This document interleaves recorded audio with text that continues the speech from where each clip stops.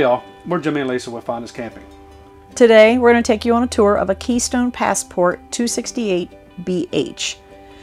We need to say thank you to Keystone RV Company because we are filming this in their studio, and we uh, just need to say thanks for them for letting us do that.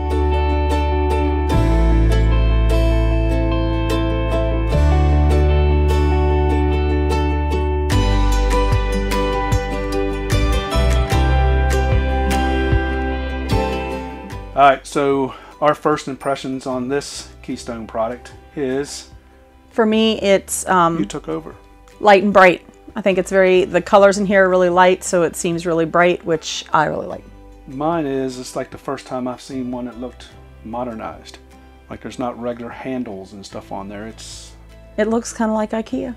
IKEA. That's what it reminds me of. The cabinets and the hardware remind me of IKEA. Very sleek and modern. You're right.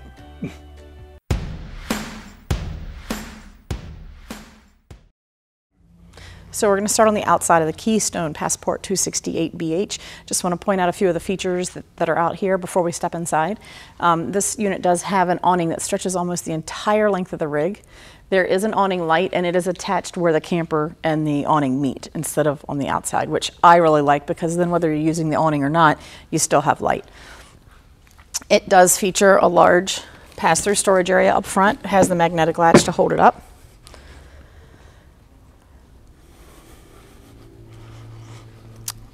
Power jet tongue jack. You're going to have your standard, your water connections here, um, your key TV, so your cable and satellite inputs here. And then this is going to be where you control the um, stabilizer jacks right here. Hot water heater. One big slide on the side. Your power cord's going to plug in on the side to the very back. Spare tire out here, and then this door takes you in side. Um, this is some extra storage. This is actually under the bottom bunk, and then this folds up. I'll show you more about that when we get inside. You have the ladder on the back for roof access. And then you have an outside kitchen area here. Again, it's got the latch to hold it up. You have a small fridge, a storage shelf, and then this is a pull-out two-burner cooktop.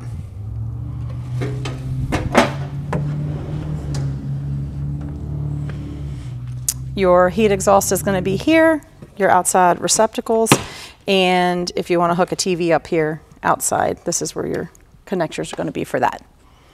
Come on in. So, what do you think of this sofa? Because typically in um, RVs that have the dinette and the sofa, it's a two-seater sofa. So we could put, because I can even take this little bumper out. We could sit three people here. TV's right across from us. How cool is that? Dinette's still there. What you're doing with this sofa is accessing the kind of wasted space between the dinette and the sofa. So if you needed to put the dinette, you just move these cushions over and this flips over. And then you have the dinette. When nobody's sitting at the dinette and you need more sofa space, you just slide it back. Also, something cool about this rig, this sofa folds out into a full-size bed. And the dinette also, just like typical dinettes, is convertible and it folds into a bed as well. Um, you have two bunks back here. They do have the corners cut off, which, eh, I don't know how I feel about that, but they're really wide. So actually, a typical bunk, bunk would stop back here. So you are getting the extra space. So I guess that's cool. This bunk folds up. And there's a door to outside back there. So you have this, I'm just holding it, it would latch up. But you have this area for storage, which I think would be great for bicycles or chairs or whatever you've got. The bathroom is right here by the bunk room.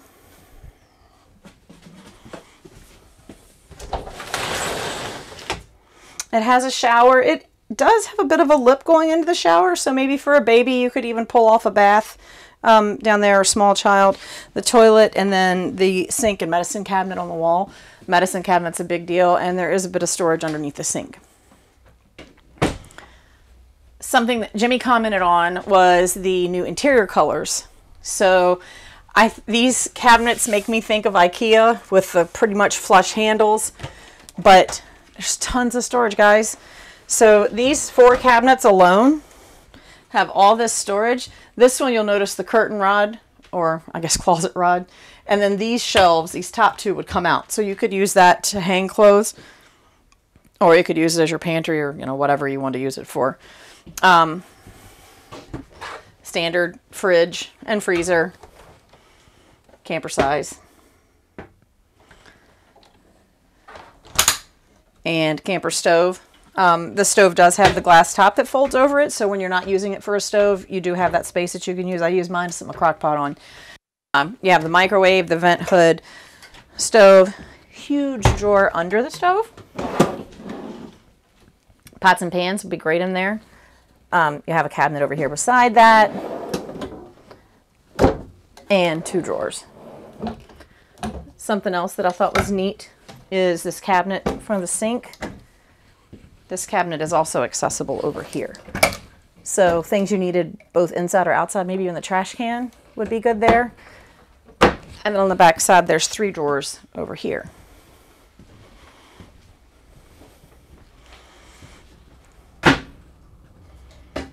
And if it's seeming like maybe you don't have enough counter space, there's also this extra little flip up. You can put up when you need it, can fold it down when you don't. That's always a plus. Your TV is going to be up here. Um, it is directly across from the sofa, which is a big thing that I hear people talk about is that the TV's at a weird angle and people have to sit with their heads turned. So that's nice that they thought about up there. And then the front bedroom. Um, a lot of times people aren't happy because the door to the bedroom is really narrow and you have to shimmy around the bed. This, they've made this big open doorway so you can still get easily around the bed